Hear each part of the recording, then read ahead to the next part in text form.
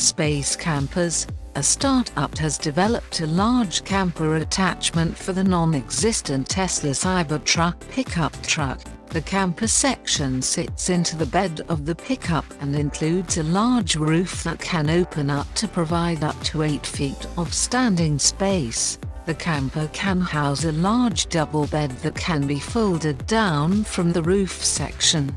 When the bed isn't in use, it can be folded away, providing space for a small sink and bench top, an induction cooker, water heater, fridge freezer, a desk, and a small seating area, allowing owners to work remotely. A key advantage is all the electrical equipment runs off the pickup's battery. It also features a solar roof, interior lighting, four electrical outlets, an adjustable awning, a built-in exhaust vent, and keyless entry. The camper isn't cheap.